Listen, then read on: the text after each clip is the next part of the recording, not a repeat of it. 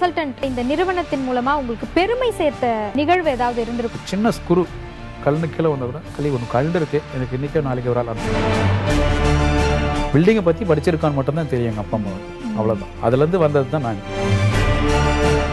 நம்மளால் முடியாதுங்கிறத நம்ம அடுத்தது போகணும் அப்படிங்கிற மென்டாலிட்டி உங்களுக்குள்ள என்ன இருக்குன்னு நீங்கள் ஃபஸ்ட்டு தேடணும் சிகரம் தொடுவோம். இன்று மதியம் பனிரெண்டு முப்பது மணிக்கு நமது புது யுகத்தில்